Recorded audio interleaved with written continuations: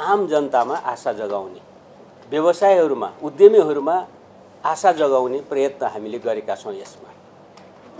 त्यसै गरी खास गरी युवा पुस्ता देशभित्र बस्ने देशभित्रै भविष्य खोज्ने भन्दा पनि सजिलै विदेश जान खोज्ने हामीसँग शिक्षाको लागि विकल्प हुँदाहुँदै पनि बाहिर जान खोज्ने देश बाहिर जान खोज्ने रोजगारीका कम गुणस्तरका होलान् तर आफ्नै मातृभूमिमा बसेर कोसिस गर्ने कुरा भन्दा पनि सजिलै बाहिर जाने सजिलो ठान्ने प्रवृत्ति। त्यसै गरी हामीले देशभित्र कैयौँ अवसरहरू हुँदाहुँदै पनि त्यो अवसरको त्यति खोजी नगर्ने र अलिकति सजिलै विदेशको बाटोलाई सजिलो मान्ने जस्तो वातावरण बनिराख्दा युवाहरूमा एक खालको निराशा हामीले देख्यौँ। त्यसलाई कुनै पनि हालतमा हामीले सक्ने आशा जगाउनुपर्छ भन्ने नै हाम्रो प्रयत्न छ। त्यसो गर्दा समग्रमै यो व्यक्तिका दोषहरू व्यक्तिका कमी कमजोरी सीमा होलान् तर समग्रमा हामी हाम्रो अर्थतन्त्रको संरचनामा नै के परिवर्तन गर्नुपर्छ या व्यक्तिको दोष या गुणमा खोजेर मात्रै हुँदैन। के नेताहरूको कमजोरी या के हामी मन्त्रालय सञ्चालन गर्नेहरूका कमजोरी मात्रै नभएर हाम्रा अहिलेसम्म गरेका आर्थिक सुधारका सीमा के रहे? भन्ने कुरा नै खोजी गर्नुपर्छ भन्ने निष्कर्षमा पुग्यौँ।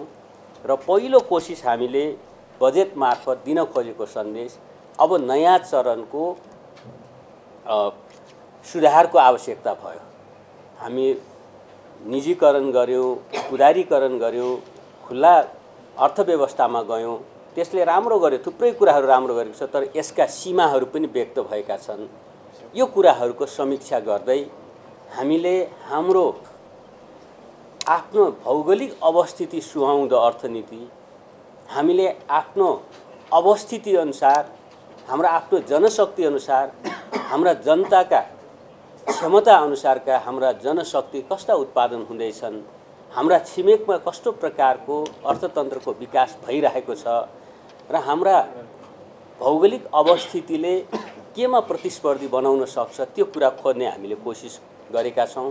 त्यसो गर्दा यो सबै कुरालाई ध्यान दिएर नयाँ चरणको आर्थिक सुधार मार्फत मात्रै हामी देशलाई गति दिन सक्छौँ भन्ने निष्कर्षमा पुग्यौँ र त्यही अनुसार प्रस्तुत गर्न कोसिस गरेका छौँ र हामी नयाँ चरणको आर्थिक सुधार त्यसको लागि एउटा उच्च स्तरीय आयोग नै गठन गरेर अहिले लामो अन्तर्क्रिया सरकारवालाहरूसँग आम जनतासँग राजनीतिक दलहरूसँग विज्ञहरूसँग र दुनियाँमा आज भइरहेको विज्ञान प्रविधि त्यसले पारेका अर्थतन्त्रका प्रभाव र हामीले हाम्रो अवस्थितिमा के गर्न सक्छौँ?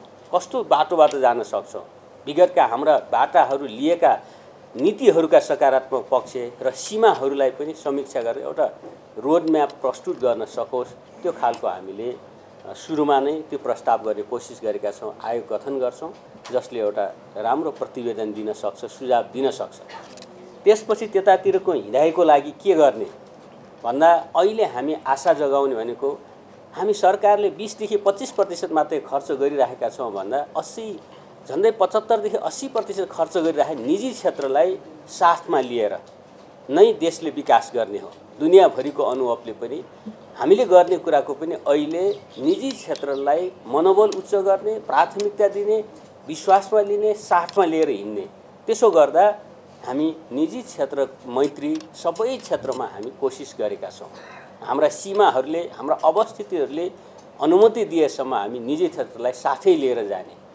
कि यतिसम्म कि हामी ठुला पूर्वाधारहरूमा विमानस्थलहरूमा सडकहरूमा सिग्नेचर ब्रिज लगायतका नयाँ खालका निर्माणहरूमा यस्ता पूर्वाधारहरूमा अब सरकार एक्लैले मात्रै खर्च गर्न सक्दैन। किन अरबौँ खरबौँको आवश्यकता छ हामीलाई पूर्वाधार विकास गर्न तर सबै कुरा राज्यले एक्लै सक्दैन।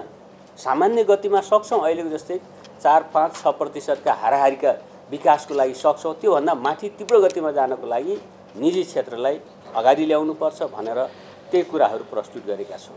त्यसै गरी हाम्रो सन्दर्भमा अहिले राम्रो गरिरहेका प्रदेशहरूका विभिन्न विशेषताहरू छन्। त्यो विशेषताहरूलाई हामी अगाडि बढाउनुपर्छ कुनै प्रदेश हामी सङ्घीयतामा पनि गएका छौँ। प्रदेशहरूको बिचमा पनि आर्थिक क्षेत्रमा पनि एउटा प्रतिस्पर्धा होस्। बचत तथा ऋण सहकारीमा देखियो समस्यामा हामीले सञ्चालक एका घरका परिवार सदस्यबाट राखिएका सम्पत्ति धिटो सम्पत्तिको धितोबाट कम्तीमा पाँच पाँच लाख भए पनि बचतकर्ता सदस्यको फिर्ता गर्ने हामीले त्यो चाहिँ प्रस्ताव गरेका छौँ। त्यसले पक्का पनि अहिले ऋण खास गरी अब बचत सहकारी ऋण तथा बचत सहकारीमा देखिएका समस्याहरू सानो एउटा समाधानतिर कोसिस यसले देखाउँछ र त्यसमा चाहिँ खास गरी नियामक निकाय गठन गर्ने स्थापना गर्ने लगायतका कुराहरू त्यहाँ छन्। त्यसले चाहिँ हाम्रो संविधानले खास गरी सहकारीलाई एउटा खम्मा मान्छ। सहकारीले राम्रो असाध्यै राम्रो गरेको छ। तर केही सहकारीका सिद्धान्त विपरीत चलेका सहकारीका कानुनभन्दा बाहिर गएर चलेका सहकारीहरूले गर्दा यो क्षेत्र बदनाम भएको छ। यो क्षेत्र सानो पुँजी सानो श्रम सानो अनुभव सानो अब उसहरूलाई कारोबारहरूलाई एकीकृत गरेर ठुलो शक्ति ठुलो श्रम ठुलो पुँजी ठुलो प्रयत्न बनाउने माध्यम हो। त्यो हाम्रो लागि जरुरी छ। जरुरी छ। त्यो क्षेत्रलाई हामी सुधार गर्छौँ भनेर हाम्रो प्रतिबद्धता हामी यहाँ प्रस्तुत गरेका छौँ। त्यसैले आम अ, सहकारी कर्ताहरूको निरुत्साहित हुनु पर्दैन। गल्ती नगरेकाहरू राम्रै गरेकाहरूले यसमा चाहिँ सहकारीमा लागियो गल्ती गरियो भन्ने ठान्नु पर्दैन। तर कमजोरी गरेकालाई हामी सुधार गर्छौँ यसलाई। हामी त्यसबारेमा आवश्यक छानबिनका कुराहरू पनि छन् कानुनी कारवाहीका कुराहरू छन्। त्यसभन्दा त्यसका अतिरिक्त चाहिँ हामीले संरचनागत रूपले नै सुधारका कुरा नीतिगत रूपले नै सुधारका कुराहरू पनि हामीले यहाँ प्रस्तुत गरेका छौँ। त्यसै गरी खास गरी यो चाहिँ रुग्न उद्योगहरू प्राइभेट सेक्टरका रुग्न उद्योगहरू सरकारका बन्द रहेका या रुग्न उद्योगहरूलाई अब हामी त्यस्तो खालको राख्नु हुँदैन। प्राइभेट सेक्टरलाई पनि हामी यसलाई सहज गर्ने प्रस्तुत गरेका छौँ बजेटमा र स्वयं सरकारका बन्द रहेका र रुग्न रहेका उद्योगहरूलाई त्यही रूपमा सञ्चालन गर्न सकिँदैन। त्यही रूपमा सञ्चालन पनि गर्न हुँदैन। एउटा परिवेशमा परिस्थितिमा बनेका स्थापित भएका उद्योगहरू अहिलेको सन्दर्भमा त्यही रूपमा चल्न सक्दैन। प्राइभेट सेक्टरसँगको सहकार्यमा पिपिपी मोडलमा हामी चाहिँ तिनीहरूलाई सञ्चालन गर्छौँ। त्यसले चाहिँ केही उत्पादन वृद्धि अवश्य गर्छ केही रोजगारीहरू सिर्जना गर्छ र त्यो उद्योगहरूका सम्पत्तिहरू सार्वजनिक सम्पत्तिहरू सदुपयोग हुनुपर्छ भनेर हामी प्रस्तुत गरेका छौँ। यहाँ अलिकति मिडिया मैले हेरेँ त्यो हामी अलिकति विवाद हुन्छ नै भन्ने लागेको थियो। स्पन्ज आइरन लगायतको खास गरी कुराहरूमा हामी धेरै छलफल गऱ्यौँ। विगतमा चाहिँ बढी के अरे यसमा विचलन भयो भन्ने आयो। अनि फेरि अर्को विचलन नहोस्। किन हामी जिम्मेवार निकायमा बसेर अर्थमन्त्री या चाहिँ अर्थ सचिव या राजस्व सचिव बसेर दरबन्दीहरू हेरफेर गर्दा चाहिँ कसैको अनुहार हेरेर या कुनै उद्योग हेरेर भन्दा पनि हामीले समग्रमा न्यायचित के हुनसक्छ र हाम्रो प्रिन्सिपल अनुसार हुन्छै हुँदैन कि हामीले हाम्रा उद्योगहरूको संरक्षण गर्छौँ भनेका छौँ एकातिर। अर्कोतिर तयारी सामानभन्दा कच्चा सामान मालको चाहिँ एक तह कम्ती पनि एक तह चाहिँ यसको दर कम हुनुपर्छ भनेका छौँ यो कुरासँग कसरी म्याच हुन्छ हामी पर्याप्त छलफल गऱ्यौँ। अरू विज्ञ अन्तर्क्रियाका विभिन्न विज्ञहरूका सुझाव सरकारवालाका सुझाव पनि पाइरहेका थियौँ। र हामी अन्तिममा टुङ्गो गर्दा के निष्कर्षमा पुग्यौँ भने यो सबै कच्चा पदार्थ ल्याएर नै यहाँ तयार गरिन्छन्। त्यसो हुँदा यो कच्चा पदार्थमा पनि कुन चाहिनेलाई प्राथमिकता दिने त नि? भन्नेमा र कसरी डिफ्रेन्स गर्ने त यो त? तयारी र कच्चा भएन।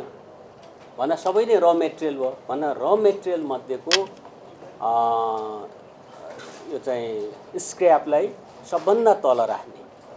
त्यसपछि स्पन्ज आइरन त्यसपछि ब्लेड यसको चाहिँ यो क्रमको श्रेणी बनाएर यो तिनवटा स्ल्याब जस्तो बनाएर जाउँ भनेर हामी एउटा निष्कर्षमा पुग्यौँ। हामी एउटा सिद्धान्त अथवा एउटा प्रिन्सिपल पहिले सेट गऱ्यौँ कि के भन्ने त? कि दुनियाँलाई हामी जवाफ दिन्छौँ भनेका छौँ। सबले चासो लिएको कुरा पनि हो।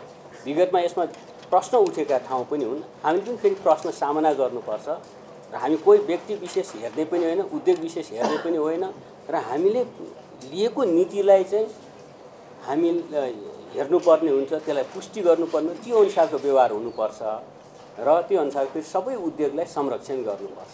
हामी यसको उद्योग त्यसको उद्योग यो र त्यो भन्ने भन्दा पनि भन्नेमा गयौँ क्वालिटीका कुराहरू चले सबैबाट आउँदा चाहिँ हामी यो त्यो तिनवटा स्ल्याब बनाइसकेपछि स्क्रैपलाई एक प्रतिशत त्यसपछि चाहिँ स्पन्जलाई साढे दुई प्रतिशत ब्लेडलाई पाँच प्रतिशत भनेर हामी एउटा न्यायचित रूपले यही हुन्छ भन्ने निष्कर्षमा पुगेर त्यही गरेका छौँ। आज चाहिँ यसो एकाध चाहिँ प्रतिक्रिया हेर्दा यसैमै अलिकति सबै केन्द्र जस्तो देखिएको छ। त्यसैले पत्रकार मित्रहरूसँग हामी यो जवाफ दिनुपर्ने हुन्छ।